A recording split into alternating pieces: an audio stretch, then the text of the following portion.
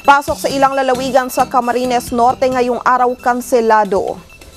Kanselado ang ah, pasok sa ilang eskwelahan sa Camarines Norte ngayong Biyernes, Maso at 4. ay dahil sa matinding pag-ulan na nagdulot ng pagbaha sa lugar kung kaya't maraming motorista ang na-stranded. Nabatid na maging ang Camarines Norte Provincial Jail ay pinasok rin ng baha. Plano ngayon ng mga otoridad na ilikas ang mga preso roon.